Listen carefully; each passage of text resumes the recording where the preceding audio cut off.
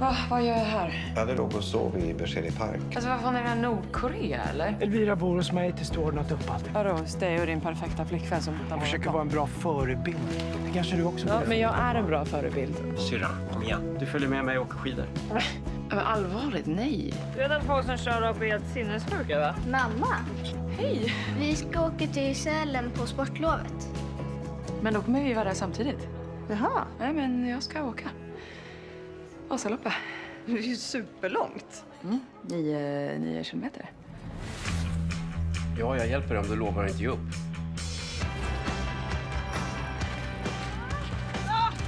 Ja, hur upplever du åkningen då? Åh, käft alltså. Nöj dig aldrig. Backa inte ur. När de svåra ögonblicken kommer, glöm inte att det är nu du skriver din historia.